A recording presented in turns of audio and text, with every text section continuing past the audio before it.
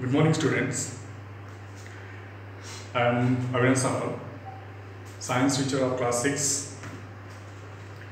So, in, in previous class, we learned about measurement of distance and motion and, and its various content like what is measurement, what is unit, what is SI unit and why SI unit needed तो ये सब बहुत चीज़ों के बारे में हम जाने और ये किस, ये बहुत इम्पोर्टेंट चैप्टर है। And why this is important ये भी in the previous class we have discussed so in this class we will study about the correction correct correct measurement of length तो हम आज के क्लास में करेक्ट मेज़रमेंट ऑफ़ लेंथ के बारे में पढ़ेंगे और कुछ डिवाइस के बारे में मेजरिंग डिवाइस के बारे में पढ़ेंगे। जैसे कि दो सिंपल मेजरिंग डिवाइस है जो कि डेली लाइफ में यूज़ होता है। One is measuring tape and the second one is metre scale are both these are these both are both uh, both common in our daily life metre scale is use to to measuring straight straight object. जो metre scale होता है, वो straight object को major करने के लिए use होता है। और and the metre tape is use for the cord object metre scale basically use in to measure for like like clothes like uh, sticks and so and many of things. And the meter tape is used curves structure object like ball length of ball length of any curved object. So another thing is to make accurate measurement we need a proper measuring device. And we have to focus on a basic things that can measure the measure the things properly some basic some basic things are to make accurate measurement we need a proper measuring device and the choice of the measuring device depends on four things like the size of the object is measure जो object जिसको हम major करना चाहते हैं वो size पता होना चाहिए। कितना साइज़ है तो कौन सा साइज़ क्या है? और वो साइज़ को हम कौन से डिवाइस में मेजर करेंगे? मीटर स्केल में मेजर करेंगे या तो मीटर टेप में मेजर करेंगे? Second one is the size the shape of the object to be measured and we should know what is the shape first one is the what is the size and second one is the what is the shape ये दोनों चीज़ and third thing is the degree of accuracy needed the degree of accuracy needed तो ये क्या है? ना, जो भी चीज़ हम मेजर कर रहे हैं, उसका डिग्री पता होना चाहिए। जैसे कि हम मीटर में हो, या कुछ ऐसे हो सेंटीमीटर में हो, ये सब चीज़ें उसको मेजर करते हैं तो ये डिग्री से पता होना चाहिए। थर्ड थिंग इज़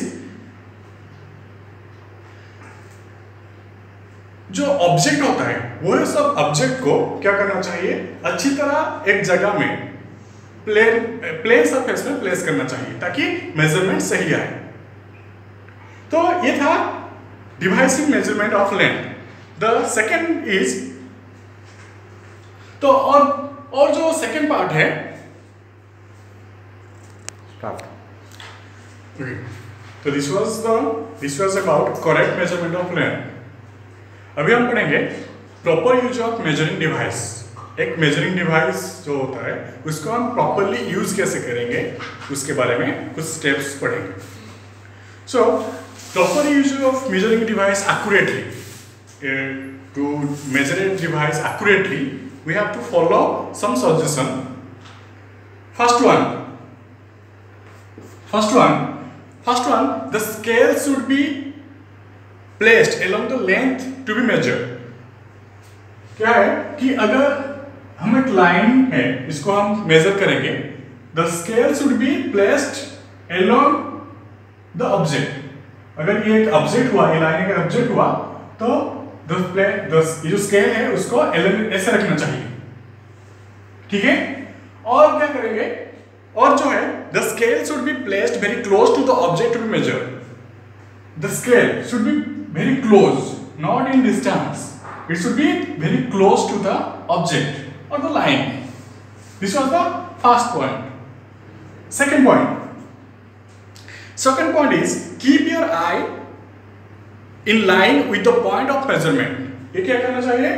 जो जो मेज़रमेंट करेंगे, अगर हम स्केल को इस तरह प्लेस करेंगे ऑब्जेक्ट के पास में तो हम, हमारा जो आई आई को क्या करेंगे? इसको पूरा पूरा क्लोजली इसके ऊपर रखेंगे। पूरा स्ट्रेटली इसके ऊपर ऐसे पॉइंट करके रखेंगे। अगर इस तरह देखेंगे या इस साइड में देखेंगे तो क्या होगा? थोड़ा एक्यूरेट हमको वैल्यू नहीं मिलेगा। तो क्या करेंगे? पूरा पॉइंटली परपेंडिकुलरली हम नोटिस करेंगे कि कैसे मेजर कैसे पॉइंट कितना एक्यूरेटली आता है कि नहीं। ठीक है? तो ये था second point the third point is do not do not start measurement from the worn out damaged end of the scale if the scale starting point is worn out और डैमेज्ड तो starting point in in this scale this is a scale of 30 cm it starts from zero. अगर इस starting point का, जो, ये जो starting point है, अगर ये डैमेज हुआ है तो इस डैमेज पॉइंट से हम मेजर नहीं करेंगे। तो कैसे मेजर करेंगे? Measure measure from the next point जैसे कि अगर ये ज़ीरो वाला जो पॉइंट है डैमेज हो चुका है तो हम वहाँ से स्टार्ट करेंगे। अगर वहाँ से स्टार्ट किए तो क्या होगा? ना if the zero of the scale is damage start measurement of the some other mark of the scale then the scale actual length of the object is equal to the difference between the reading at the two points. अगर हम क्या करेंगे zero के zero अगर zero से नहीं ले, नहीं लेते हैं तो वन से लेते हैं तो क्या करेंगे? इसको हम माइनस कर देंगे। माइनस करेंगे तो एक्यूरेट मीनिंग हमको आ जाएगा।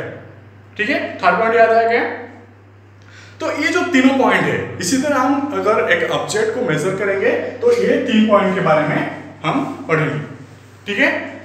ये जो तीन पॉइंट है तो जो पॉइंट तीनों पॉइंट है ये तीनों point so you should remember when you measuring a device you have to remember this three points so then when you when we go to a market or when we go to a shop we have seen that many type of measuring devices are using by the shopkeepers So a correct meter scale used by shopkeepers in the market has the sign, this sign, this sign. जब हम market जाते हैं shop में देखते हैं जो जो metre scale होता है वो मीटर स्केल के स्टार्टिंग में एस इस तरह का साइन होता है in the end point the sign is this type so you have to notice properly the meter scale the shopkeeper is using this sign should be placed on the starting point and the ending point and one another thing you have to notice that is that is also the such a scale is also stand by the department of the weight of measure और एक चीज़ आपको notice करना है ये तो एक point हुआ और दूसरा जो पॉइंट हुआ और एक चीज़ आपको नोटिस करना है जो कि है वो डिपार्टमेंट ऑफ़ मेजर होता है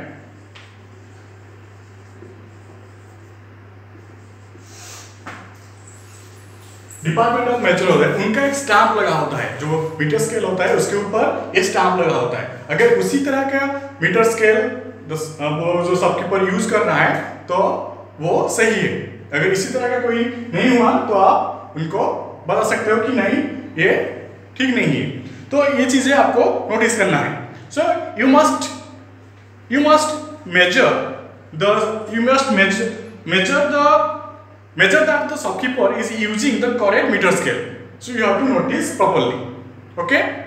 So this is the correct this is the correct measurement of length and आज के चैप्टर में हम क्या पढ़े कि कैसे करेक्ट मेज़रमेंट ऑफ़ लेंथ कैसे करेक्ट एक लेंथ को कैसे करेक्टली मेजर करें और कुछ डिवाइस के बारे में पढ़े और proper proper use of measuring device ये सब चीज़ों के बारे में पढ़े आई होप दिस का this class is very meaningful to you.